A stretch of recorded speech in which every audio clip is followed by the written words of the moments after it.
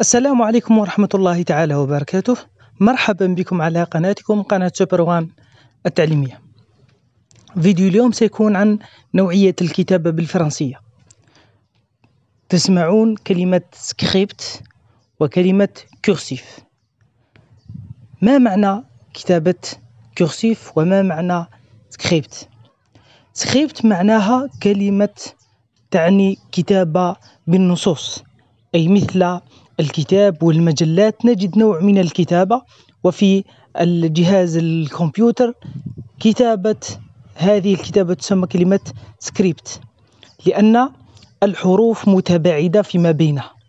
لا يوجد هناك تلصق للحروف. إذا هذه الكتابة تسمى écriture script écriture script أما التي تخطط باليد تسمى écriture cursive cursive كما تلاحظون الآن سنكتب أمامكم عبارتين.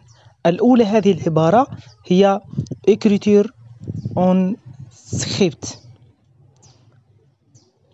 T U R E. نلاحظ الحروف كلها كلها غير مرتبطة.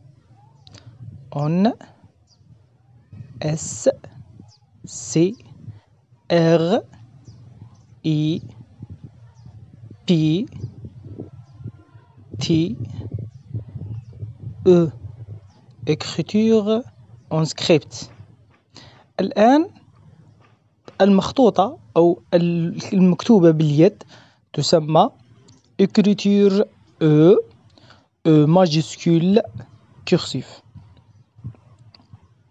C R I التلميذ في هذه السنة في سنة ثالثة ابتدائي طالب بمعرفة حروف اللغة الفرنسية ال alphabet فرنسي معرفة كتابتها على الطريقتين cursive و script وأيضا معرفة نطقها جيدا إذا الطريقة الأولى قلنا هي l'écriture en script والطريقة والثانية كما تلاحظون écriture en cursive إلى هنا يكون خلص معنا الفيديو تاعنا لنا اليوم.